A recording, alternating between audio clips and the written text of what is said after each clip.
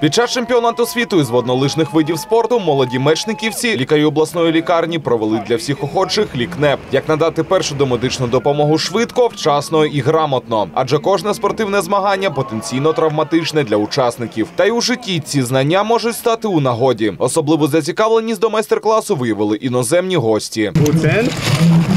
And you have not to let him to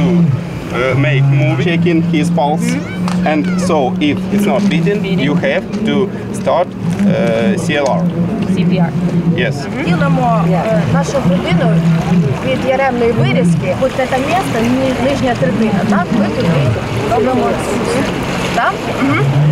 Значить, як ми робимо? Ми руку не ложимо так, ми руку отак тримаємо, так? щоб ми не лягали на ребра.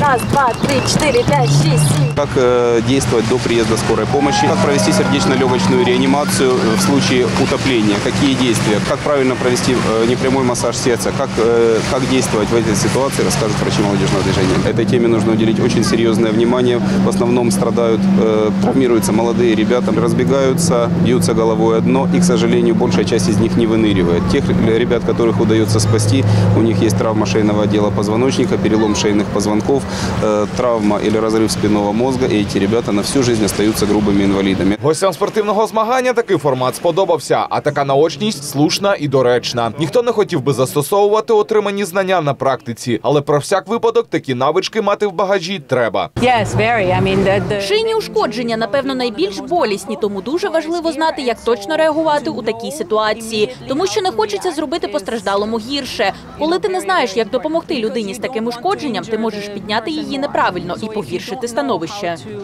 help a person in that case. Я знала трохи про те, як поводити себе в таких ситуаціях, але багато чого забула. А сьогодні експерти нагадали, як себе поводити. Я освіжила свою пам'ять. Я ніколи не мала реального досвіду таких ситуацій, але я брала декілька уроків, аби знати, що потрібно робити. Тепер я знаю, як зафіксувати шию постраждалого, щоб запобігти подальших ушкоджень.